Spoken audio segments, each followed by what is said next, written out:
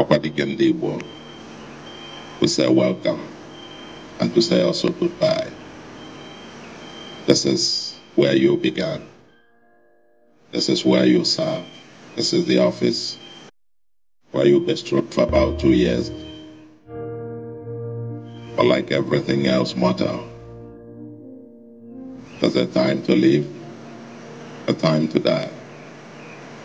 While it has pleased the Almighty God that this is the moment that we should be reunited with Him in paradise, we have assembled here once more at your office to say once again, welcome but goodbye to our dear leader, Okwadike Pupu, Okwadike Odagwata Union, Okwadike Anambra, Okwadike Ndibo, Okwadike Nigeria.